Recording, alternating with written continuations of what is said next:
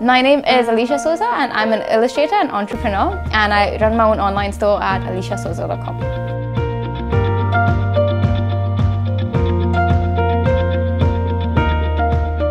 Inspiration is everywhere. It's in things you do and things you see, hear, taste, smell, and it can even be right in front of you. And the first thing I do when I'm inspired is draw.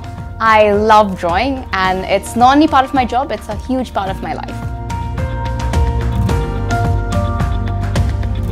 My process is pretty simple. I start with pencil and paper and I scan my drawings and then I color it digitally.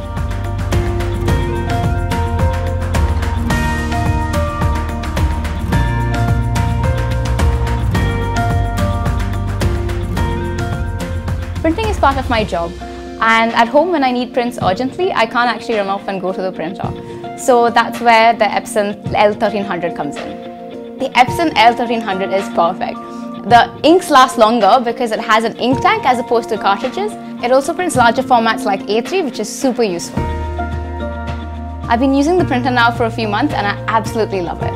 Uh, now there are no interruptions in my process and when I need to print, I can get right to it.